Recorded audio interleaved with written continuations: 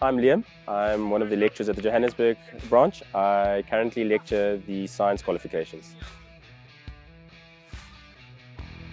Exercise science uh, qualifications focus around principles of movement, uh, especially around physical activity, making sure programs are scientific, planned, very individualized.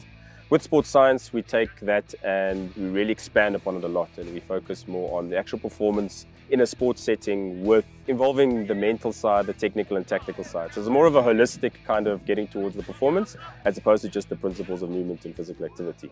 ETA really has branched out from not just the exercise science side, but amalgamating the fitness side, the coaching side, a bit of the management side to give an all-rounded student as opposed to just in the exercise science side. It used to be very much conditioning and personal training, but I think the careers have really expanded to performance analysis where we've integrated technology into our actual training methods as well as how they actually analyze through video analysis. I think it's also branched out into that we have a lot more sports coordinators, sports coaches, fitness. So it's not just one field, it's kind of branching out into all the different disciplines that actually exist in industry.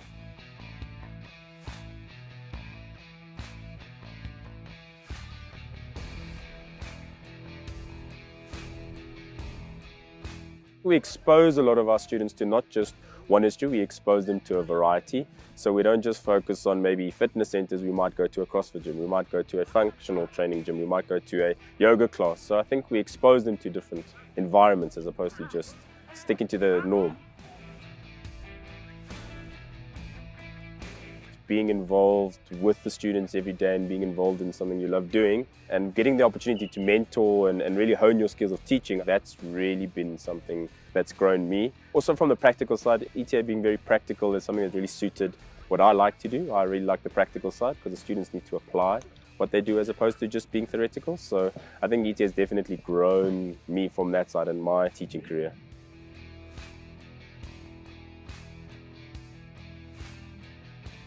I think it's coming into our professor students saying, come on board to we will take you on a journey, not just to teach you from the theoretical, but give you an experience. We're all about an experience here and a holistic one, like we mentioned. So theoretical, practical, and just so that you can get out to industry and start working.